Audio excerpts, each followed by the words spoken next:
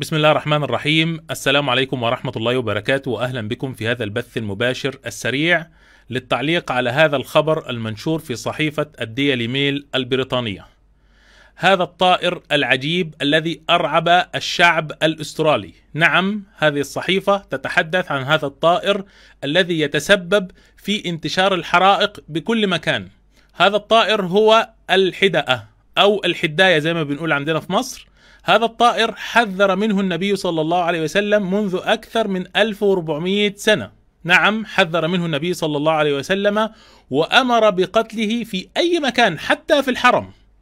ولذلك هذا التقرير أنا لا أريد أن أطيل هذا التقرير وهذه الفيديوهات المنشورة على اليوتيوب من حوالي عام تقريبا تتحدث عن هذا الطائر وتحذر منه. شوفوا هذا الطائر الخطير. طبعا ممكن واحد يسأل الآن كيف ينقل الحرائق من مكان لآخر؟ ينقل الحرائق من مكان لآخر حسب علماء في جامعة سيدني الأسترالية عن طريق حمل أخشاب صغيرة مشتعلة أو أغصان صغيرة مشتعلة ويرمي هذه الأغصان في مناطق أخرى جافة ليس فيها حرائق. يعني بيختار حاجة مشتعلة طبعا في جزء منها غير مشتعل يمسك بهذا الغصن أو الخشبة الصغيرة ويلقيها في مكان آخر ليحرق الطيور والدواب هناك. سبحان الله. وهذا التقرير منشور من يوم 2 يناير 2020 يتحدث بالتفصيل عن دراسات جامعية أن هذا الطائر يتعمد نقل الحرائق من مكان لآخر لإيذاء الطيور.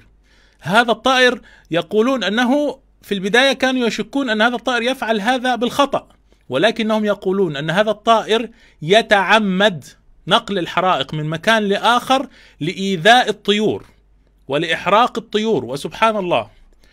أحببت فقط أن أقرأ عليكم هذا الحديث وهذا الحديث في البخاري ومسلم والترمذي والنسائي وابن ماجه ومسند الإمام أحمد يقول النبي صلى الله عليه وسلم خمس من الدواب. كلهن فاسق يقتلن في الحل والحرم. يعني حتى في الحرم اللي يعني لا يجوز قتل فيه الحيوانات والطيور يقتلن في الحل والحرم. الكلب العقور والغراب والحدأة أو الحداية زي ما بيقولوا في مصر والعقرب والفأرة. وصدق رسول الله صلى الله عليه وسلم حينما قال هذا الكلام. هم الآن يقولون أن هذا الطائر المؤذي المرعب. ينقل الحرائق من مكان لآخر وتسبب في نفوق حوالي نصف مليار حيوان. عارفين الرقم ده؟ مش بهزر فيه. هذا الرقم حقيقي.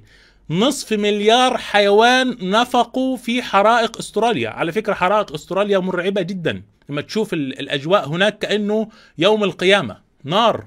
الأجواء لونها أصفر برتقالي كده. فنصف مليار حيوان قتلوا. طبعا بسبب جزء من هذه الأسباب هو أن هذا الطائر ينقل الحرائق من مكان لآخر لطرد الطيور والزواحف والحيوانات. سبحان الله. والنبي صلى الله عليه وسلم حذر من هذا الطائر منذ أكثر من 1400 سنة. من الذي علمه ذلك؟ النبي صلى الله عليه وسلم لا ينطق عن الهوى. وهذا الفيديو لا أريد أن يكون طويل حتى يستطيع الناس أن ينشروه. شكرا لكم وجزاكم الله خيرا. والسلام عليكم ورحمة الله وبركاته. وهذا التقرير في أول تعليق على اليوتيوب. شكرا لكم.